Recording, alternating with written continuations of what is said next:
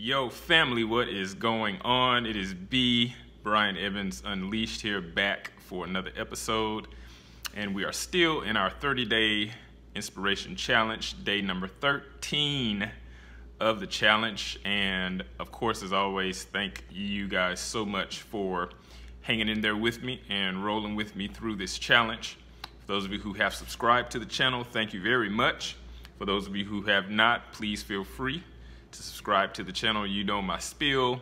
Uh, click that bell for any inspirational content um, on a daily basis that I drop, and um, you will definitely definitely be notified. All right. So it's gonna be a short one today, um, coming out a little bit later than uh, than normal with uh, with this particular video. But uh, but I did want to go ahead and uh, drop something really quickly for your inspiration. Um, so I want to talk about your why. W H Y. Remembering your why. Number one, the W. You have to remember who you're called to. All right? Because that's going to be what drives you to continue moving through those days where you don't really feel like pursuing those goals. All right? So when you have strong relationships around your vision and strong relationships built into your pursuit, a lot of times the people around you that you love and care about will give you the motivation that you need to continue pressing through when times get tough. All right? So you have to remember your who. Who are you connected to? Who do you love? Um, who are the people that you are called to? All right? To release your giftings and to minister and to serve. Okay? So you have to remember your who. H. You have to remember your hunger. Okay? why do you desire this thing so much? Okay, what was it about this pursuit that made you hungry enough to say, I'm going to spend the rest of my life pursuing this?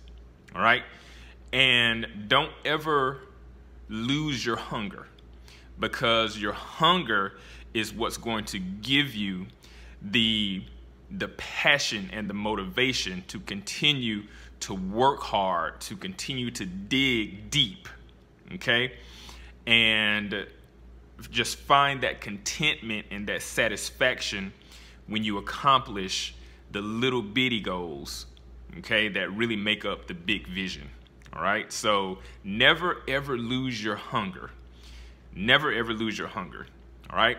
And then, of course, last but not least, the why, which is the last why you have to remember your yesterday.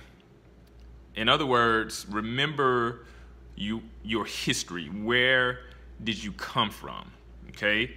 Um, never ever forget where you came from.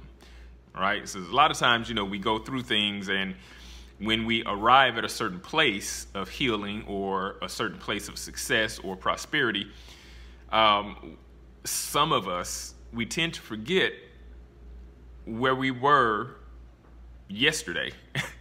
you know, um, we tend to forget the struggles that we had before we actually walked in the success that we're that we're currently walking in. Okay, so if you if you forget how to connect to your yesterday, you'll lose your relevance in your today.